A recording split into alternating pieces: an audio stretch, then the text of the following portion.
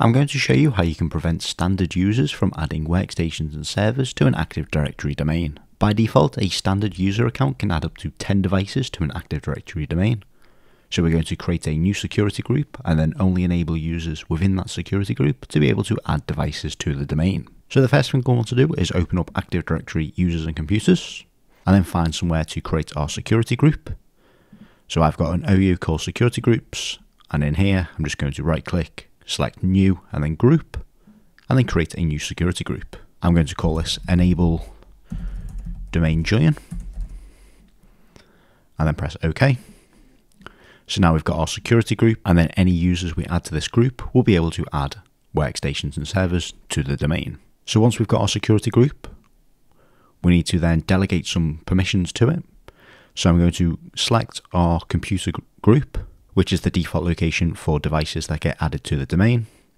So if we right click and then press delegate control, we can then press next. We can then press add and then find our security group that we've just created. So if we just search enable and then check names, we can find our enable domain join group then press OK, and then next. Then we'll want to create a custom task to delegate, and then next. Only the following objects in the folder, and then we can select computer objects, and then select create selected objects, and then delete selected objects as well. We can then do next, and then give it full control, and then next, and then finish.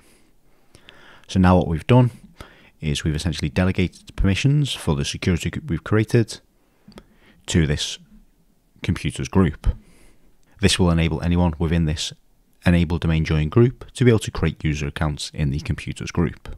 The next thing we'll want to do is open up group policy management and then drill down to our default domain controllers policy. Normally you wouldn't want to modify the default domain controllers policy.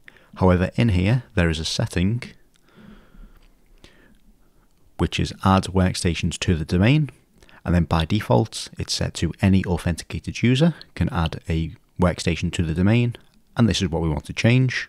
So if we right click our default domain controller policy and then press edit, and then under policies, and then Windows settings, security settings, local policies, and then user rights assignment, we can find add workstations to a domain double click, select authenticated users and then remove.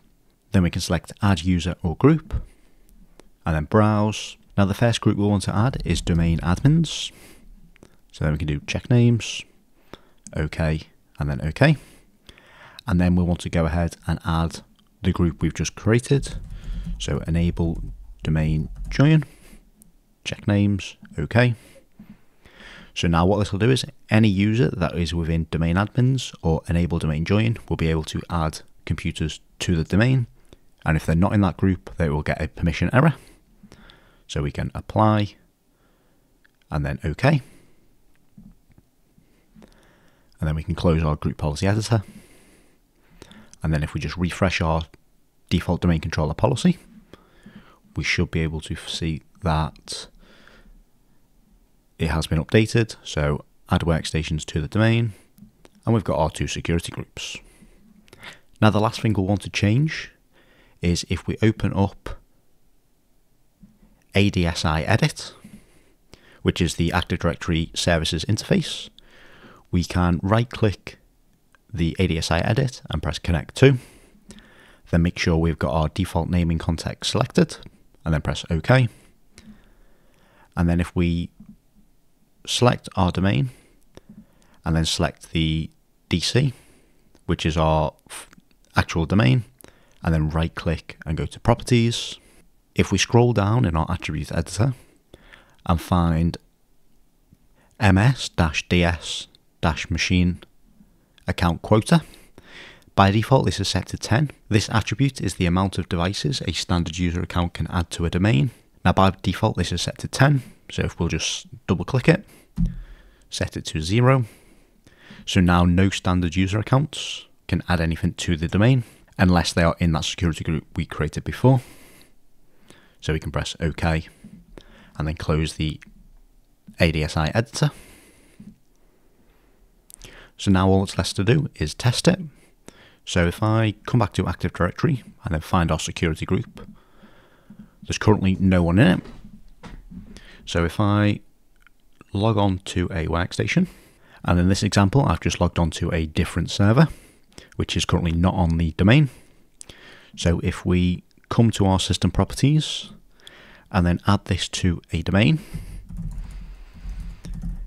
and then I use a standard account. So if I just use my standard account, which is just a standard user and it's not in any security groups other than the default, when I try and add this, we should get an error saying access is denied. So if I come back to my Active Directory, and just to show you, this is the user account I used, and it is a member of domain users only. So if I add this to the enable domain join security group, and then press apply and then OK. This user account should now be able to add devices to an Active Directory domain. So if I try this again and then do ed slash dunning and then the same password, this should let us add the device to the domain, which it has done. So now we know that's working.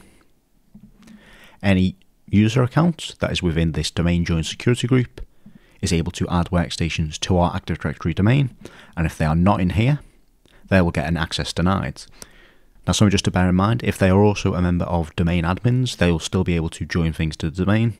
So this is a way of doing this without actually giving them domain admin. They've literally just got the permissions to be able to add devices to the domain. And that is how you can lock down your domain join and then set it to only specific user accounts are able to add workstations to the domain.